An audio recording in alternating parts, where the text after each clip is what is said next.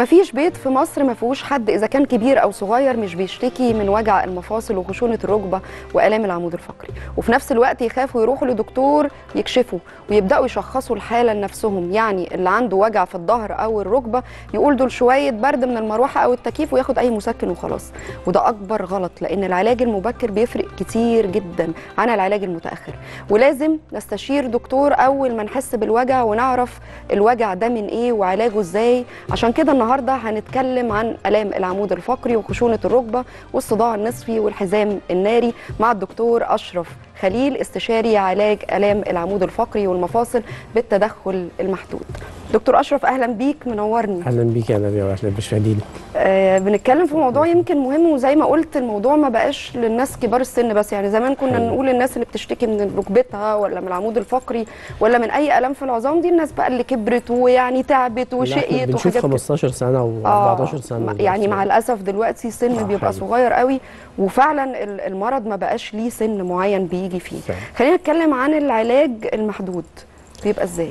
العلاج اللي إحنا بنسميه اللي هو العلاج التدخلات المحدودة ده, ده دي طريقة ظهرت في الطب في ببدايه الألفينات. آه كانت موجودة قبل كده في تخصصات تانية غير الام الجهاز الحركي كانت مم. موجودة في تخصصات تانية زي الجراحه مثلا. كان موجود بدل ما كان بيعملوا المرارة بالفتح العادي بقى بيعملوها بالمنظار. فده اسمه تدخل محدود. التدخل المحدود هو يقصد إن هو بدل ما ما يفتح فتح فتحة كبيرة هو يا إما بيدخل عن طريق قسطره أو يدخل عن طريق منظار.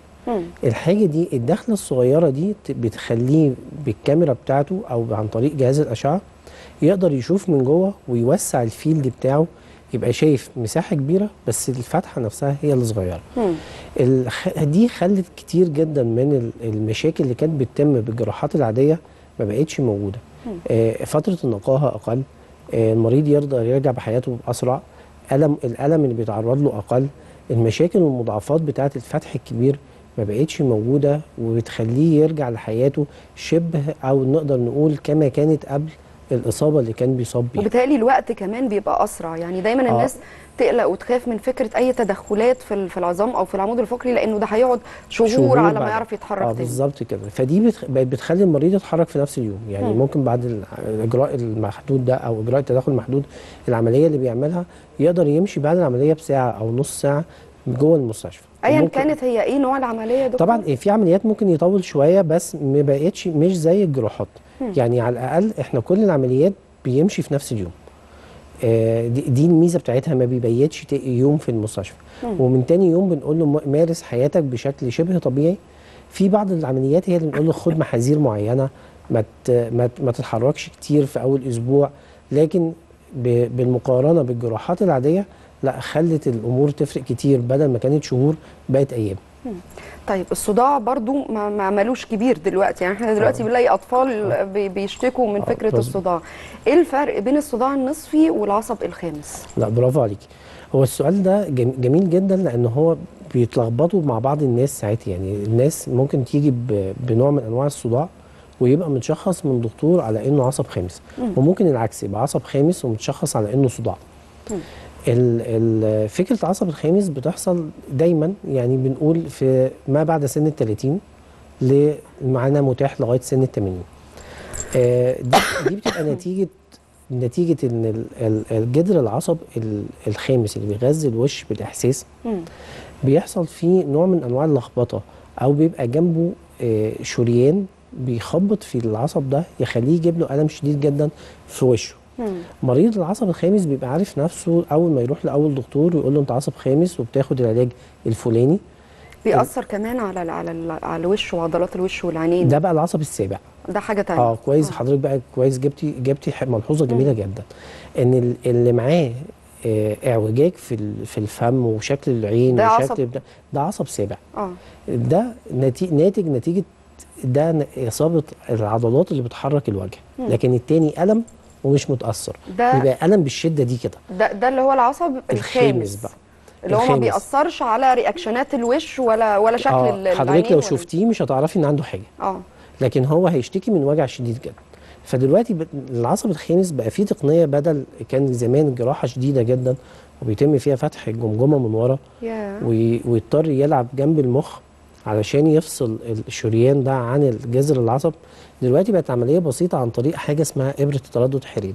الإبرة دي إيه؟ دي كده عملية لايف حقيقي كده والله. آه اهي صوره دي صورة الأشعة اللي إحنا بنشتغل عليها جوه العمليات فعلا. أهو. هي دي المريضة وده شكل الشكل اللي إحنا كنا شايفينه قبلها. ال- ال- المريضة دي بتبقى صاحية. دي الميزة فيها. معقولة؟ بتاخد آه بناخد بنج موضعي زي بنج هو الاسنان أنتوا كده. كده داخلين إيه بقى يا دكتور؟ هنا يعني هنا بنبقى داخلين بنج موضعي. المريضة ما بتبقاش حاسة بينا. أهو ده الشكل اللي إحنا داخلين عليه. يعني ده الشكل ال- آه، المريضة لكن ده ال- الأشعة اللي إحنا بن بن بن بنشتغل بيها. شكل الأشعة دي أول ما نوصل بإبرتنا للمكان اللي إحنا شايفينه ده مم. على الشاشة الثانية اللي هي المدورة آه. بن بن بنعمل حاجة اسمها ستيميوليشن أو بنقول للمريض أنت حاسس بشكل الوجع اللي أنت بتحس بيه ولا لأ عن طريق الجهاز فيقول لي آه. هنا أقول خلاص المريض أقول له خلاص أنا هنيمك دلوقتي لمدة خمس دقائق أول ما هشتغل بالجهاز الخمس دقائق دول وحضرتك تقوم تروح بالسلامة ماشي على رجليك. في المكان ده حتى ما نحطش لا بلاستر ولا حاجة خالص. مم. لو رغم إن شكل الإبرة ساعات ممكن يكون مؤذي لبعض الناس بس دي أقل من إبرة بنج الأسنان. يا وجعها أقل من بنج الأسنان. فلذلك المريض بيبقى سعيد جدا أول ما بيخلص عملية ما بيحسش إن إحنا عملنا له حاجة كبيرة. ال- التدخل بقى ده اللي بيحصل يا دكتور. بيتم إيه جوه؟ بتعمل إيه جوه في ال- ال- التردد الحراري ده بيوقف نقل إشارة ال- الألم من العصب ده. لغاية المخ. مم. فكده المريض هو كانت مشكلته كلها إنه إن ال- انه مش العصب قادر ده يستحمل الألم متجنن وعمال يطلع إشارات ألم بدون داعي مم. فبدل ما كنا زمان بنضطر إن إحنا ندخل له بعملية عشان ندمر ال- العصب ده أو بنعمل حاجة اسمها جاما نايف دلوقتي بقى مجرد الإبرة البسيطة دي والعيان عايز أقول لحضرتك في نفس اليوم يقدر يرجع بيته وتاني يوم ده كده العلاج بالتدخلات المحدودة محدودة بالظبط كده لعلاج العصب الخامس الخامس. بالظبط ممكن المريض ينزل شغله من تاني يوم عادي مم. يعني لو عملناها مثلا في نفس في اليوم يوم الخميس ممكن ينزل الجمعة لو عملناها الأربع ينزل الخميس. ما عندناش مشكلة خالص. ما بيقعدش بقى ولا زي ما كنا بنقعد نسمع زمان والناس تبقى قلقانة وخايفة لا العملية بتاعت ال- العملية دي كان بيقعد على الأقل شهرين في البيت.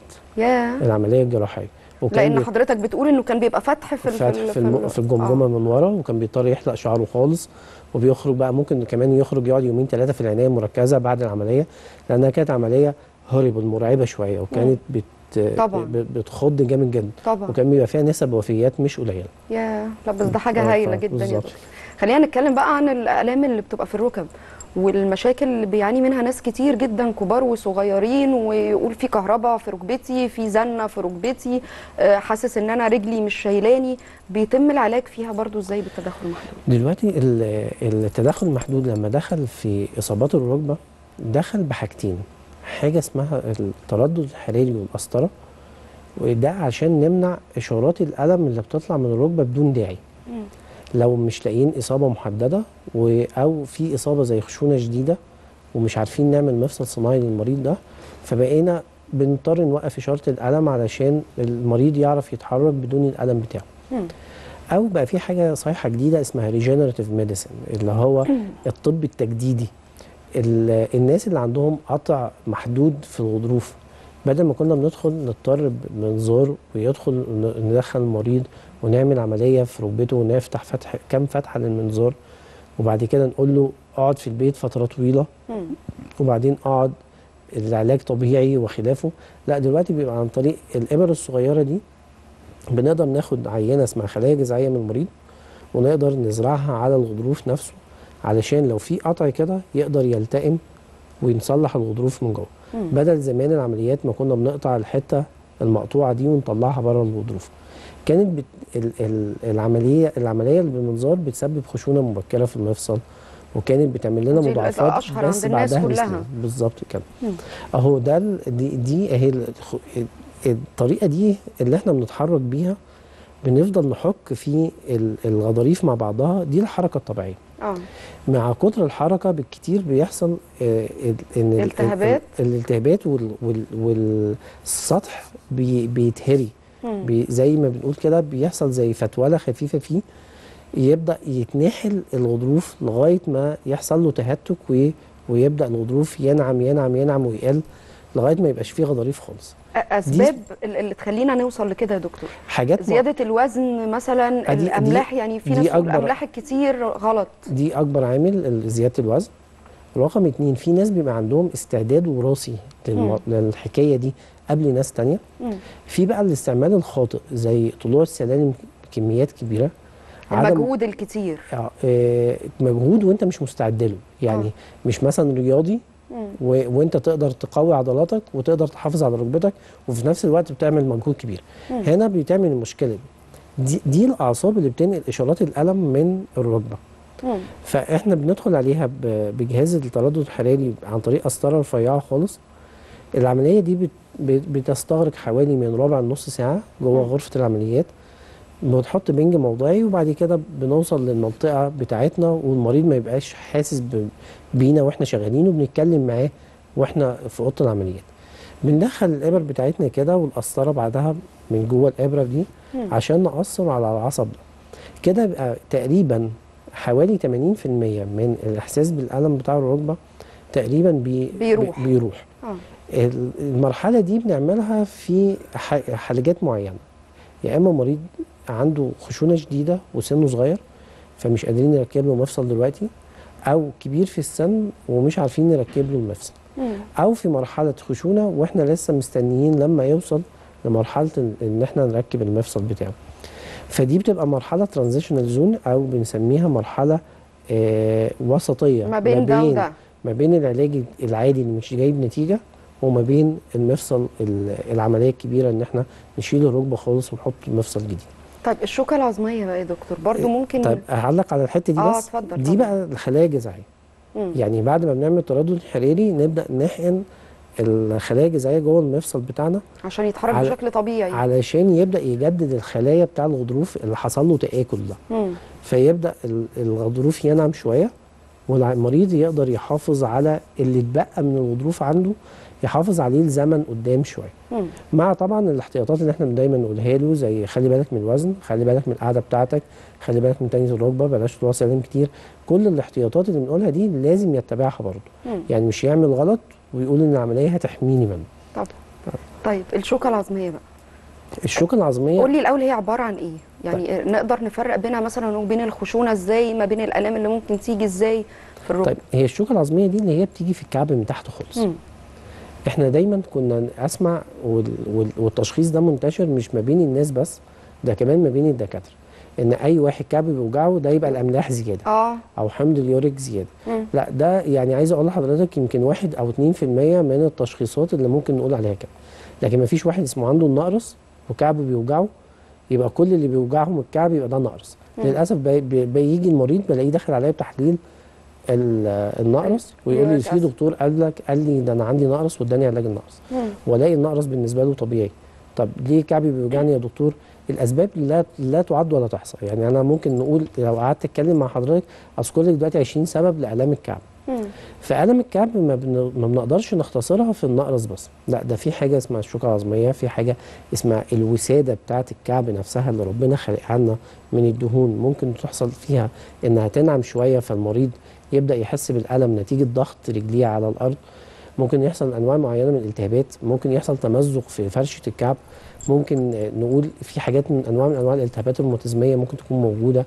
ممكن نقول شوكة الكعب ممكن نقول في يعني ده أسباب كتير أسباب جدا. كتيرة إحنا بنقعد. نشخصها كلها ونلخصها في إنه ده نقرس. ده ده المريض بيجي بقى هو ده نقرس فيا دكتور فأنا عايز علاج. لكن إحنا هنا بنقدر نشوف المريض نبدأ نمشي معاه خطوة خطوة علشان نعرف تشخيصنا إيه. نبدأ الأول نقول له اعمل لنا أشعاعات فلانية نبدأ نقول له اعمل لنا التحاليل نطلعه ونكشف عليه على ال- الشيزلونج. وبعدين بنعمل له كمان أشعة اسمها أشعة سونار وساعات بنحتاج رنين عشان نعرف نشخص مجرد ما عرفنا إيه السبب اللي موجود وجع له كعبه بنقدر نوصف العلاج المناسب. في حاجات بتبقى علاج عن طريق إن هو ياخد علاجات بالفم أو علاجات موضوعية ويرتاح المريض وفي علاجات لأ بيبقى لازم يا إما أنواع معينة من الحق أو أنواع معينة من التدخلات المحدودة زي ما إحنا ما عملناها كده. فمش كل المرضى بنمشي معاهم بأسلوب واحد. أهو. آه ده ده يعني إيه؟ عايز يمثل إن في شوكة في الكعب. كل ما يجي يدوس على الأرض يحس, يحس إن في حاجة آه آه، كانه يحس داس على حاجة. آه ده ده موقف تمثيلي كده. بي بيعبر عنه بالشكل ده. هنا دي عمليه دي عملية التدخل محدود في كعب المريض. إحنا غاسلين ايديه رجليه كلها هو بتدينه مع أمينه. وبعدين بندخل بالقسطرة الرفيعة ال- اللي من الجنبين دول. مم. الم- المريض ده أنا عايز أقول لحضرتك واخد بنج موضعي بيتكلم معانا وإحنا شغالين ما عندوش مشكلة خالص. آه شكل الأشعة اهي اللي الصورة اللي على الجنب دي. بعد ما بنخلص عملية بيبقى الإبرتين كده وبنبدأ نحطهم والمريض بيبقى متعاون معانا. حاسس بال حاسس بال... بالإشارات اللي إحنا بنعملها دي يقول لي آه حاسس. الحاجات الإشارات الخفيفة دي قريبة من الألم اللي أنت بتحسه بس أنت بتخليه الأول. يحدد لك الألم بالظبط كده. وبعدين ينام. وبعد كده ساعة ما يجي يشتغل الجزء المؤلم لازم ينام. آه. الجزء المؤلم هنا بن... لا يتعدى خمس دقائق فبنقول له إحنا بننيمك بس خمس دقائق هنشتغل فيهم. عشان لما تصحى نبدأ نقول لك شوف نفسك هل في وجع ولا لأ؟ فلما يقول لي لأ مفيش وجع يبقى أنا أصبت الهدف بتاعي مظبوط وأقول له خلاص الحمد لله على السلامة. ويروح برده بعدها بنص ساعة. وبيمشي عادي في وبيمشي عادي. وقتها؟ آه بيمشي عادي. يروح في, نفس التوقيت تقريبا بعدها بنص ساعة. وما بنقولوش أي احتياطات غير إن يلبس حاجة في الشوز بتاعه. وبعد كده بنشوفه في العيادة بعدها بأسبوعين ونقول له الحمد لله على السلامة وألف مبروك. في الغالب بيجي يقول لي اعمل لي الرجل الثانية في والله؟ الغالب يعني آه. في الغالب بيبقى مريض بيبقى عنده الاثنين يقول لي لا أنا ارتحت كده فأنا عايز أعمل بس هي. ممكن تيجي في رجل واحدة بس ولا بتيجي في الاثنين مع بعض؟ هي الأغلب بيجوا الاثنين مع بعض أغلب الحالات. لكن في ناس آه بتيجي في رجل تسبق الرجل الثانية مثلا بسنين. يعني ممكن وا- واحد يجي له الرجل السنة دي ويجي له بعد سنتين ثلاثة الرجل الثانية تمام. طيب تثبيت الفقرات بقى يا دكتور واعتقد إن دي بتبقى برضو من الحاجات الكبيرة يعني مش آه. مش بسيطة ما شاء الله انت نقلانه من موضوع لموضوع جري كده تثبيت ال- الفقرات كان زمان عملية مرعبة قوي لأن كنا بنضطر نفتح فتح كبير في ظهر المريض علشان نقدر ندخل بالدعامات بتاعتنا من أكتر العمليات اللي تقلق أي حد في حقيقي- الدنيا حقيقي. تقول لك يبقى في أي في العمود الفقري يقول لك لا أنا هعيش بالألم اللي أنا فيه ده لكن. ما اعملش ده حقيقي وهي وفعلا إحنا بنقول لو في آلام ممكن يتحملها ويعيش حياته بشكل طبيعي بدون مسكنات عنيفة إحنا بنقول له برضه تعايش. لكن لو في الم مش قادر يتعايش معاه والمريض مش عارف يروح شغله ولا يمارس حياته لا بنضطر ساعتها إن إحنا نقول له لا لازم نعمل التثبيت. كانت مخيفة زمان بسبب إن إحنا كانت فتح كبير دلوقتي بقت اسمها جراحة ملاحيه جراحة؟ ملاحية. آه. يعني إيه ملاحية؟ يعني هو بيقدر يتحكم في الدعامة بتاعته من عن طريق آلات كبيرة كده بس من بعيد. مم. علشان ما يضطرش يفتح فتحة كبيرة. بدل ما كنا زمان لو ده ظهر المريض نضطر ندخل الدعامة كده لا دلوقتي نضطر ندخل الدعامة بالشكل ده. فيبقى ال- الدعامة بدل ما كان فتح المريض فتحة بطول الدعامة نفسها لا دلوقتي بقى بقطرها بس. مم. فهنا فبقت أبسط كتير. بقت آه بالظبط كده. شوف الجهاز شكله كبير جدا وعنيف لكن اللي بيدخل جوه جسم المريض هو يا دوبك القطر بتاع حاجة صغيرة. بتاع آه. فده بيبقى بيخلينا نقدر نعمل عملية التثبيت بدون ما نضطر للفتح اللي كان بيقلقنا. وكل ما الفتح بيكبر ده بيسبب لنا ضعف في العضلات بيسبب لنا تهتك في العضلات تهتك في الأربطة. بنضطر إن إحنا يبقى عنده تحفظات كتيرة جدا بعد العملية ما يعملهاش طول عمره. ممكن يعمل لنا حاجة اسمها تليف والتصاقات. فكل الحاجات دي تقريبا تقريبا انتهت مع وجود الايه؟ ال- الجراحة الملاحية دي. بس هي المشكلة اللي عندنا مين المريض اللي بنختاره نقدر نعمل له يعني دي تناسب ناس وناس آه لأ. بالظبط كده. آه. يعني حتى الآن ما قدرناش الطب ما قدرش يلغي الفتح الكبير ده نهائي. ولكن قدر يصغره وياخد جزئية كبيرة جدا من المرضى ما يعملهم ما مين يعملهاش مين الحالات اللي ينفعها ومين الحالات اللي ما دي دي بتعتمد على حاجات كتيرة جدا طبية المريض نفسه مش هيقدر يعرفها. آه. لكن إحنا بنقدر عن طريق حاجتين أساسيتين شكوى المريض مم. والكشف عليه داخل العيادة وشكل الأشعاعات بتاعته. ساعات بنضطر إن إحنا نطلب بدل الاشعه أشعة واثنين وثلاثه وأربعة علشان نقدر نحدد له أنت ينفع لك دي ولا لأ. مم. يعني في النهاية طبعا ال- النتائج دي هايلة وإحنا فتحنا آه، النهارده في كذا موضوع يمكن آه. أنا بقول كل موضوع منهم بيبقى محتاج حلقة لوحده دكتور أشرف خليل. استشاري علاج آلام العمود الفقري والمفاصل بالتدخل المحدود نورتني. بشكر حضرتك. جدا يا دكتور بشكرك. أشوفك. على خير بشكر حضراتكم مشاهدينا لو عشتوا كان ليا عمر أشوف حضراتكم بألف خير سلام عليكم